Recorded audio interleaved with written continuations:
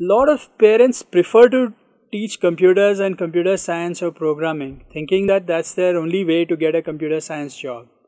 Actually, when you think ahead in the next few years, it is very clear that computing is going to be present in every field and every discipline, and programmers are going to be part of every activity that we may have to do in the future. So, I'm really excited to talk about CS Pathshala. I think in this uh, initiative, we are focusing on getting children to start thinking about computational way of th thinking. In the last 60 70 years of computer science, computer science has made dramatic progress and is an integral part of every science activity, mathematics, physics, and even the arts, sociology, and every discipline. As we look ahead, computing and programming of things is going to be fundamental of fundamental part of anything we do in our lives.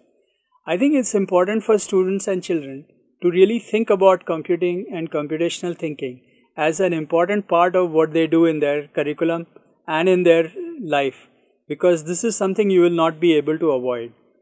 Uh, through CS Pathshala, we are helping students think beyond programming, programming languages, and computer usage, but helping students think and be uh, thinking about how to build next generation programs, how to build next generation technology, how to build solutions that would be relevant irrespective of whatever they might study.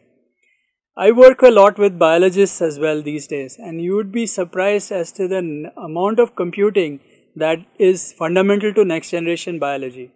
It is very hard today to separate computing from any discipline in the world, whether it's astronomy, biology, mathematics, computing, Computing fundamentals that we are emphasizing in CS Pathshala are very important for everyone to be aware of.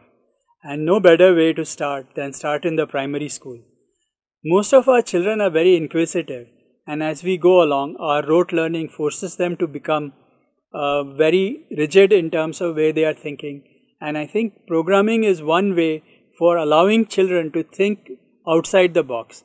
So it is not going to be about which programming language you know or what specific algorithm you are familiar with because as we look ahead, all of these are likely to change. What is going to remain constant is the individual's ability to think and reason things as they go along.